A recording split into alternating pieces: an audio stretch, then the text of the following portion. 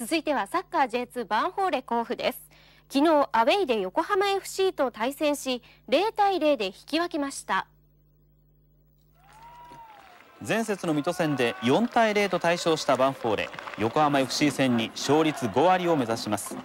そのバンフォーレ攻撃陣にエンジンがかかったのは前半30分過ぎでした。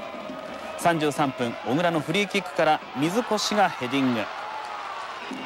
そしてその2分後には小倉からのロングボールに絶好調バロンが体調体勢を崩しながらもヘディングシュート。リーグ最小失点の横浜ディフェンスを崩しきれませんでしたがいいリズムで前半折り返します。後半も押し気味に試合を進めるバンフォーレバロンが相手ゴールに襲いかかります。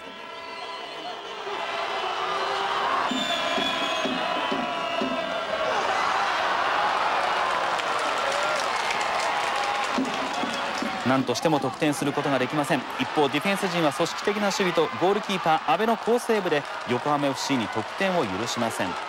バンフォーレは結局スコアレスドローに終わりましたが中2日の厳しい試合日程の中で勝ち点1をゲット。え次は9日の日曜日ホームコセで京都パープルサンガと対戦いたします。